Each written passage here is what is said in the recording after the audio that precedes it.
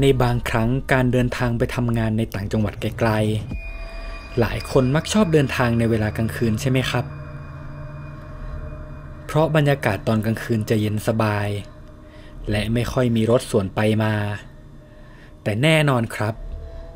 การเดินทางกลางคืนก็อาจทำให้เรารู้สึกง่วงบ้างเป็นเรื่องปกติ และหลายคนก็แก้ง่วงด้วยการฟังเรื่องผีระหว่างเดินทาง จริงครับที่ว่าการฟังเรื่องผี จะช่วยให้หายง่วงได้จริง ๆ แต่บางทีการฟังเรื่องผีระหว่างเดินทาง ก็อาจจะทำให้เราต้องพบเจอกับประสบการณ์หลอนๆได้ เหมือนกับเรื่องที่ผมจะเล่าให้ฟังในวันนี้ กับเรื่องที่มีชื่อว่า เรื่องของหนูสนุกไหม เรื่องนี้เป็นเรื่องของคุณเอก ที่มาเล่าให้ฟังในรายการเดอะช็อคนะครับ โดยคุณเอกได้รับฟังเรื่องนี้มาจากรุ่นน้องที่รู้จัก เป็นเรื่องเล่าของครอบครัวครอบครัวหนึ่ง ผมขอสมมติชื่อคนในเรื่องให้เป็นคุณบอยแล้วกันนะครับ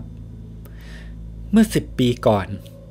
ช่วงนั้นแผ่นเทปยังคงเป็นที่นิยมมาก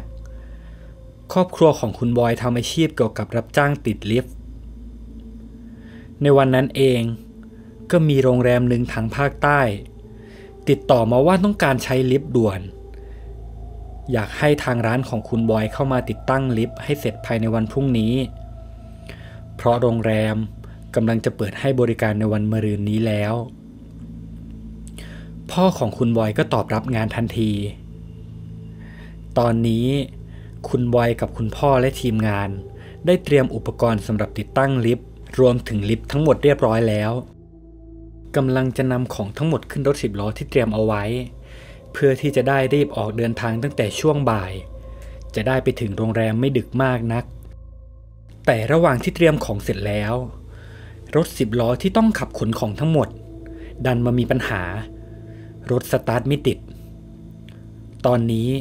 จากที่ทุกคนรีบๆกันอยู่แล้ว ก็ต้องเสียเวลาไปกับการซ่อมรถอีกหลายชั่วโมงทำให้ในวันนั้น กว่าทุกคนจะได้ออกเดินทางก็ดึกมากแล้ว คนที่ออกเดินทางไปโรงแรมนั้น มีทั้งหมดสี่คน มีคนขับรถ บอย พ่อของบอย และลุงของบอย ระหว่างขับรถลุงของบอยก็ได้หยิบแผ่นเทปเพลงที่มีอยู่ในรถ เปิดฟังเพลงไปด้วย เพื่อไม่ให้บรรยากาศดูเงียบเกินไป เวลาผ่านไปม้วนเพลงที่เปิดฟัง ก็วนไปมาหลายรอบ ทุกคนก็เริ่มจะเบื่อ บวกกับความง่วงที่นั่งรถเฉยๆมานานหลายชั่วโมง ตอนนี้ก็เริ่มเข้าถึงโซนภาคใต้แล้ว ซึ่งหลายคนก็คงรู้ดีนะครับ ว่า 10 ปีที่แล้วเนี่ยบรรยากาศรอบข้างทางโซนภาคใต้ก็จะเต็มไปด้วยป่ายาง สูงใหญ่เต็มไปหมด กิ่งไม้นี่โน้มลงไขว้กันมาเป็นลักษณะอุโมงค์เต็มสองข้างทางไปเลย ถนนก็จะเปลี่ยวๆมืดๆ ไม่มีแสงไฟ ไม่มีแม้แต่รถจะผ่านสักคัน มีแค่แสงไฟของรถที่บอยนั่งอยู่เท่านั้น ก่อนที่จะเข้าไปในโซนป่ายางลึกกว่านี้พ่อได้บอกให้คนขับรถแวะร้านค้าก่อน ตอนนั้นเอง ก็เจอปั๊มน้ำมันแห่งหนึ่งข้างทาง ซึ่งมีเซเว่นตั้งอยู่ด้านในพอดี เลยถือโอกาสแวะตรงนี้เลยแล้วกัน พอถึงร้านค้า ทุกคนก็แวะทำธุระส่วนตัว ตัวบอยเองก็หาซื้อน้ำซื้อขนม มาไว้กินระหว่างทาง ด้วยความที่อีกค่อนข้างไกลกว่าจะถึงโรงแรม ลุงของบอยเลยซื้อแผ่นเทปที่ตั้งอยู่ตรงชั้นวางของในเซเว่นมาเพิ่มอีกสามแผ่น เสร็จธุระแล้วทุกคนก็ขึ้นรถเพื่อเดินทางต่อ ลุงของบอยหยิบแผ่นเทปที่ซื้อมาเมื่อกี้กำลังจะเปิดเพลงฟัง ปรากฏว่าหนึ่งในสามเทปที่ซื้อมานั้น มีเทปที่เป็นรายการผีของ The Shock มาด้วย ทุกคนก็เลยคุยกันไว้ว่า เดี๋ยวเราฟังอันนี้แหละ จะได้แก้ง่วงไปด้วยเลย ตอนนี้เองบรรยากาศในรถ เงียบสงัด ทุกคนในรถต่างตั้งใจฟังเรื่องผีที่กำลังเล่นอยู่ ทันใดนั้นเอง จู่ๆคนขับรถก็เบรกกระทันหันทำให้ลิฟต์ที่อยู่ด้านหลังรถสิบล้อ เชือกขาด ตัวลิฟต์กระทบกับหลังรถอย่างแรง ทุกคนในรถต่างพากันตกใจ ถามคนขับรถว่าเบรกทำไม คนขับรถก็ตอบไปว่า เมื่อกี้เห็นอะไรตัดผ่าน เหมือนจะเป็นหมาตัวใหญ่ก็เลยต้องเบรกไว้ ตอนนี้เองบอยกับพ่อก็ได้ลงไปดูที่หลังรถ พบว่าตัวลิฟที่ถูกเชือกรัดไว้ ถูกคลายออกมาด้วยแรงเบรกก่อนหน้านี้ พ่อกับบอยยืนคิดว่าจะเอายังไงดี เพราะตอนนี้ก็ตีสองกว่าแล้ว แต่ถ้าไม่รัดเชือกไว้เหมือนเดิม ลิฟก็อาจจะโครงเคลงและอาจเสียหายระหว่างเดินทางได้ บอยกับพ่อเลยตัดสินใจว่าจะช่วยกันขึ้นไปรัดเชือกให้ลิฟต์ใหม่ ด้วยความที่รถจอดอยู่กลางป่ายาง ข้างทางตอนนี้เนี่ย เงียบมาก บวกกับก่อนหน้านี้เพิ่งฟังเรื่องผีบนรถไปทำให้บรรยากาศรอบๆ ดูน่ากลัวขึ้นไปอีก ระหว่างที่กำลังรัดลิฟต์อยู่นั้น จู่ๆก็ได้ยินเสียงเหมือนเท้าคนกำลังเดินเหยียบใบไม้ เสียงเนี่ย ดังออกมาจากข้างในป่ายางด้านหลังรถ ด้วยความที่รอบๆเงียบมากทำให้เสียงฝีเท้าของคนเดินยิ่งชัดขึ้นไปอีก พ่อกับบอยหันไปตามเสียง ช้าๆ ปรากฏว่า เจอผู้หญิงคนหนึ่งอยู่ไกลๆ ลักษณะใส่เสื้อแขนสั้น ผมยาว ในใจพ่อของบอยเนี่ยรู้แล้วว่าไม่ใช่คนแน่ๆ เพราะที่เขายืนอยู่เนี่ยคือป่ายางเต็มไปหมด และดึกขนาดนี้เนี่ย คงไม่มีผู้หญิงคนไหนกล้าออกมาเดินคนเดียวแน่นอน พ่อเลยบอกให้บอยเนี่ย รีบรัดเชือก แล้วทั้งสองคนเนี่ยก็วิ่งขึ้นรถ พร้อมกับบอกให้คนขับ ขับรถออกไปอย่างไว คนขับก็รีบขับรถออกไปจากจุดจุดนั้นทันที ถึงจะไม่รู้แน่ชัดว่าเป็นคนหรือผี แต่ก็คงคิดว่าไม่น่าจะมีอะไรแล้ว เพราะขับออกมาจากตรงนั้นแล้ว ทุกคนก็เดินทางต่อ จนสุดท้ายเนี่ย ไปถึงโรงแรมที่ต้องเอาลิฟต์ไปติดตั้ง เวลาตอนนั้นเนี่ยประมาณตีสี่รถก็เข้าไปจอดที่หน้าโรงแรม ก่อนที่พ่อจะโทรแจ้งเจ้าของโรงแรม ทางเจ้าของโรงแรมก็ออกมาต้อนรับ พร้อมกับบอกทุกคนว่า เดี๋ยวให้ไปนอนพักที่บังกะโลด้านหลังโรงแรม จะได้พักผ่อนได้เต็มที่ ไม่ต้องไปหาที่พักไกล พรุ่งนี้จะได้รีบติดตั้งลิฟต์ให้ได้แต่เช้าเลย ในตอนนั้นเอง ทุกคนก็คิดว่าจะได้นอนพักห้องดีๆ เพราะตัวโรงแรมเนี่ยค่อนข้างหรูมาก แต่เมื่อพนักงงานพาไปเปิดบังกะโลให้ดู กลับพบว่าข้างในเป็นห้องเปล่าๆราวกับว่าห้องนี้เนี่ยไม่ได้ใช้มานานหลายปี ไม่มีสิ่งอำนวยความสะดวกในห้องเลย มีเพียงพื้นโล่งๆ กับห้องน้ำให้เข้าแค่นั้น โดยแม่บ้านเปิดให้นอนสองห้อง มีพ่อ บอย ลุง นอนด้วยกันสามคน และคนขับรถแยกไปนอนอีกหนึ่งห้อง ระหว่างนั้นเองก็มีแม่บ้านถือฟูกสำหรับนอนมาให้ แต่สิ่งที่ผิดสังเกตก็คือ แม่บ้านที่เอาฟูกที่นอนมาให้เนี่ย มากันเยอะผิดปกติ ทั้งๆทที่ฟูกที่หยิบมาจะต้องเอามาแค่สี่อัน แต่กลับพากันมาถึงหกเจ็ดคน ในตอนนั้นบอยก็ได้แต่คิดในแง่ดีว่า เขาคงอยากรีบมา แล้วทำความสะอาดให้เสร็จจะได้รีบกลับ แม่บ้านก็ไม่รอช้าทำความสะอาด ปัดกวาดแบบรีบๆ เหมือนกลัวอะไรบางอย่าง เลยไม่อยากอยู่ตรงนี้นาน พอเสร็จแล้วเนี่ย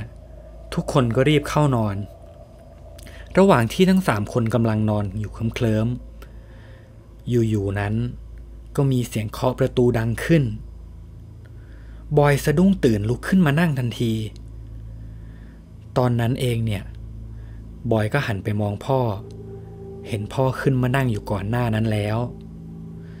ทั้งสองสบตากัน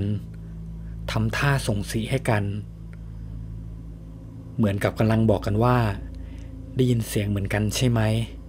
พ่อตัดสินใจลุกขึ้นไปที่หน้าประตู สายตาของพ่อเนี่ย ค่อยๆจ้องมองไปด้านนอก ผ่านประตูตาแมวช้าๆ สิ่งที่เห็นก็คือมีผู้หญิงผมยาว สวมเสื้อยืดสีขาว ยืนอยู่หน้าประตูห้อง ตอนนั้นเองในใจพ่อคิดว่าทำไมถึงมีผู้หญิงมาอยู่ตรงนี้ได้ หรือว่าเป็นพนักงงานโรงแรม พ่อเลยเปิดประตูออกไป หญิงสาวที่อยู่ข้างหน้าก็พูดกับพ่อว่า สวัสดีค่ะ หนูทำของหาย พี่มาช่วยหาของให้หนูหน่อยได้ไหมคะ ด้วยความที่ดึกมากแล้ว และผู้หญิงคนนี้ก็ดูลักษณะเป็นคนปกติคงไม่มีอะไร พ่อเลยเรียกให้ลุงและคนขับรถ มาช่วยหาของให้ผู้หญิงคนนี้ด้วย เพราะยิ่งคนเยอะ น่าจะหาเจอได้ไวจะได้รีบกลับมาเข้านอนกัน ส่วนตัวของบอยเนี่ย พ่อบอกให้เข้านอนไปก่อนเลย พรุ่งนี้จะได้มีแรงทำงาน ในตอนนั้น บอยที่อยู่ในห้องคนเดียวพยายามข่มตาหลับ เวลาผ่านไปสักพักหนึ่งบอยกำลังจะเคลิ้มหลับไปอีกครั้ง จู่ๆก็มีเสียงเคาะประตูดังขึ้นก๊อกก๊อกบอยสะดุ้งตื่นอีกครั้ง ในใจได้แต่คิดว่าใครมาเคาะประตู ตอนนั้นเอง เสียงเคาะก็ดังขึ้นอีกครั้ง พร้อมกับมีเสียงผู้หญิงพูดขึ้นมาว่า สวัสดีค่ะ ตอนนั้นบอยขนลุกสู้ เพราะเสียงที่ได้ยิน คือเสียงของผู้หญิงที่มาเคาะก่อนหน้านี้ แต่ทำไมถึงมีแค่เสียงผู้หญิง แล้วพ่อ ลุง และคนขับรถหายไปไหน บอยเริ่มคิดในใจว่าตอนนี้มันไม่ปกติแล้ว ยังไงก็ไม่ยอมเปิดประตูไปแน่ ๆ ตอนนี้เสียงเคาะก็ดังขึ้นเรื่อยๆ พร้อมกับเสียงหญิงสาวด้านนอก เธอพูดซ้ำเหมือนเดิมว่า สวัสดีค่ะ สวัสดีค่ะ ตอนนี้เองเนี่ย จากเสียงที่ดังอยู่หน้าประตูห้อง เปลี่ยนเป็นดังรอบบังกะโล และเสียงก็ค่อยๆดังขึ้นเรื่อยๆ สวัสดีค่ะ สวัสดีค่ะ ตอนนั้นบอยทำอะไรไม่ถูก ได้แต่นั่งตัวสั่นอยู่คนเดียว จากเสียงที่ดังอยู่ด้านนอกรอบบังกะโล อยู่ๆ เสียงก็ดังขึ้นมาใกล้หูของบอยราวกับว่าเธอเข้ามาอยู่ข้างในห้องของบอยด้วย สวัสดีค่ะ บอยตกใจสุดขีด เขาเริ่มสติแตก ตัดสินใจเปิดประตูแล้ววิ่งออกไปด้านนอกทันที ตอนนี้ บอยวิ่งไปเจอพ่อ ลุง และคนขับรถอยู่ด้านหน้าโรงแรม บอยรีบวิ่งเข้าไปบอกพ่อว่า พ่อ ผมโดนผีหลอก และเล่าเรื่องทั้งหมดที่เกิดขึ้นเมื่อกี้ให้พ่อฟัง พ่อหันมาบอกกับบอยว่า โดนเหมือนกันเหรอ ตอนนั้นบอยได้แต่ยืนมองหน้าพ่อ ก่อนที่พ่อจะบอกว่า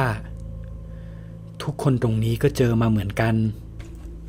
พ่อบอกให้ทุกคนไปนั่งที่มานั่งหน้าโรงแรม เพื่อคุยกับเรื่องที่เกิดขึ้นก่อนหน้านี้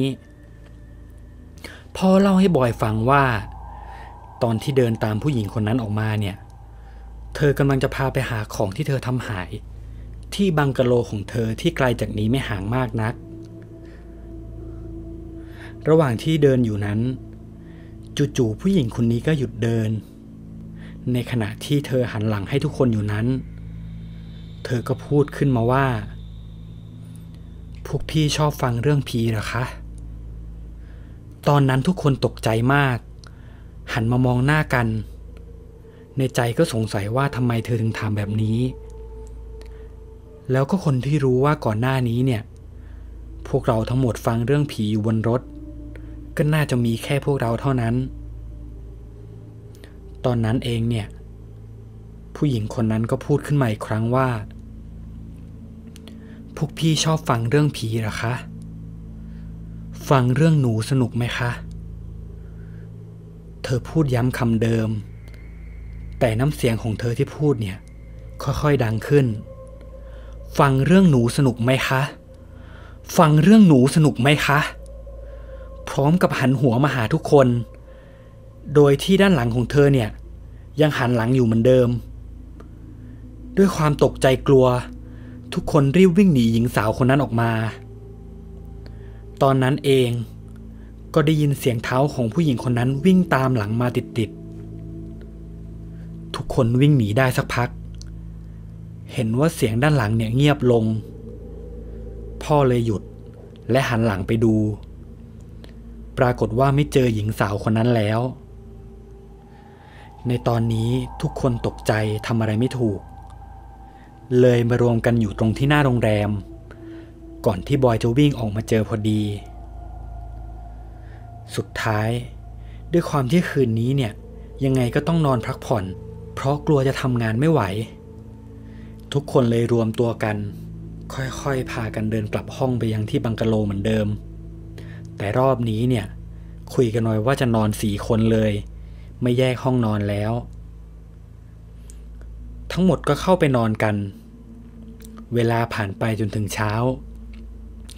ทุกคนรีบทำงาน ติดตั้งลิฟต์จนเสร็จ ระหว่างที่กำลังเดินทางกลับบ้านอยู่นั้น บอยนึกถึงคำพูดของผู้หญิงคนนั้นที่บอกพ่อ ที่เธอพูดออกมาว่า ฟังเรื่องหนูสนุกไหม บอยตังหิดอยู่ในใจ เขาเลยหยิบเทปที่ฟังเมื่อคืนเนี่ย ออกมาดู ปรากฏว่า ชื่อเรื่องผีในเทปเรื่องหนึ่ง มีชื่อเรื่องที่มีชื่อว่า สวัสดีค่ะ ตรงกับสิ่งที่ผู้หญิงคนนั้นพูด และนี่ก็คือเรื่องราวทั้งหมดที่คุณเอกถ่ายทอดให้ฟัง คิดไม่ถึงเลยนะครับ ว่าแค่ฟังเรื่องผี ก็ถูกผีตามมาหลอกหลอนได้สำหรับใครที่ชื่นชอบฟังเรื่องผีระหว่างขับรถ ก็ระวังตัวกันด้วยนะครับ ยังไงก็ฝากกดติดตาม กดกระดิ่งแจ้งเตือน เพื่อเป็นกำลังใจในการเล่าเรื่องหลอนๆในครั้งต่อไปด้วยนะครับ ใครมีเรื่องราวสยองขวัญอยากให้เราเล่าให้ ก็สามารถส่งมาได้ทางแฟนเพจ Facebook ได้เลยนะครับ เรื่องหน้า เราจะเอาเรื่องราวประสบการณ์ของการเจอผีเรื่องไหน มานินทาให้ทุกคนฟัง ติดตามกันด้วยนะครับ สวัสดีครับ